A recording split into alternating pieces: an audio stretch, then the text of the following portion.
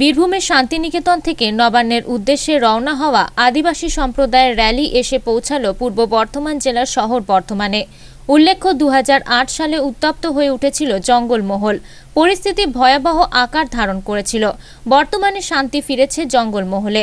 এক ভয়াবহ পরিস্থিতি অতিক্রম করে জঙ্গলমহলের বাসিন্দারা এখন শান্তিতে বসবাস করছেন।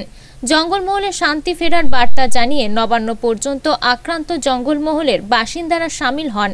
তারা বহু দিন ধরে এই র্যালির জন্য উৎসাহিত হয়েছিলেন। তারা চেয়েছেন তাদের যে দৈনন্দিন চিত্রটা, সেটা বাংলা দেখুক। তাদের দৈনন্দিন জীবন নিয়ে তৈরি হওয়া ইস্কাবন ছবিটি তারা দেখতে চেয়েছেন। জল, বিদ্যুৎ পৌঁছলেও এখনও বিনোদন সেইভাবে প্রবেশ করেনি জঙ্গলমহলে। বিনোদনের আর্জি জানিয়ে তাদের এই যাত্রা বলে জানান। আসলে দু হাজার আট নয় সালে জঙ্গলমহল উত্তপ্ত হয়েছিল। সেই উত্তপ্ত জঙ্গলমহলে আজকে আলো ফিরেছে, শান্তি ফিরেছে। সেই শান্তির বার্তাটুকু নবান্নে পৌঁছে দেওয়া আমাদের জন্য র্যালি করছে আদিবাসীরা। মূলত আমাদেরকে বারবার চাপ দিচ্ছিল আদিবাসীরা যে আমাদের নিয়ে এত বড় একটা ছবি করেছেন আপনারা ইস্কাপন সেই ছবির বার্তাটা যেন আমরা আদিবাসীদের গ্রামগুলোতে এই ছবি দেখতে পাই। এখন রেশন পৌঁছেছে আদিবাসীদের গ্রামগুলোতে, জঙ্গলমহলে, প্রত্যন্ত জঙ্গলমহলে, আলো পৌঁছেছে, জল পৌঁছেছে, পরিবহন পৌঁছেছে, কিন্তু বিনোদন সেভাবে পৌঁছায়নি। তাই আদিবাসীরা চাইছে এই ছবিটা দেখতে, কারণ তাদের একটা অংশগ্রহণ আছে এই ছবি জুড়ে।